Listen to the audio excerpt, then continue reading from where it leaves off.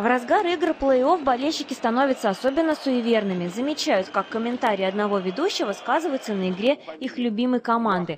А что же сами спортсмены? Оказывается, и они следят за тем, чьим голосом будут озвучены их действия в матче.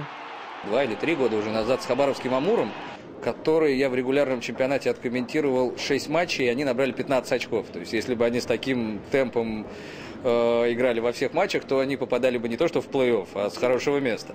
Потом я комментировал их игру, кстати, по-моему, с Салаватом из Москвы комментировал, которую они единственную выиграли в плей-офф.